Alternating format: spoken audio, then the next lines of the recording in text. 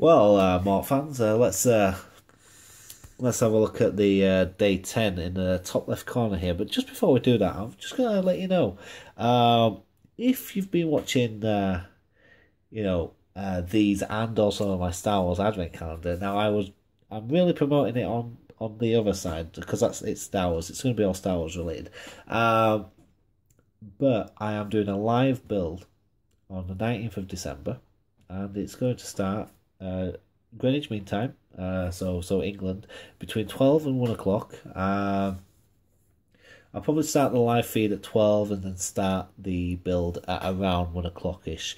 Um, so, uh, really hoping that everyone gets uh, up for that and uh, comes and joins us on the live feed, uh, gives some comments, uh, and yeah, generally chats to chats to us.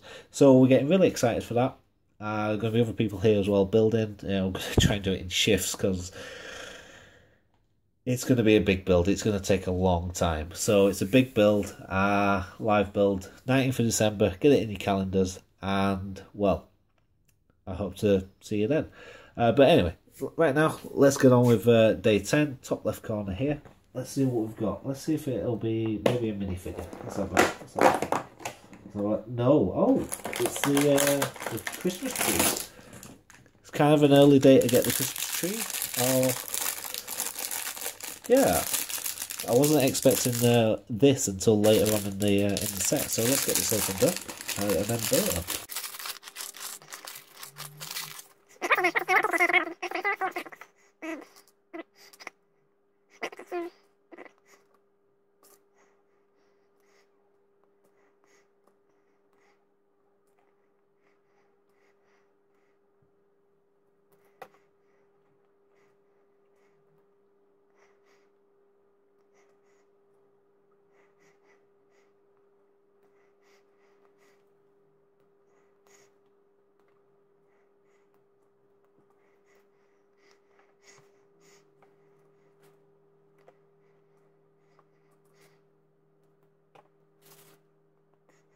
There we go then. There's the uh, there's the Christmas tree.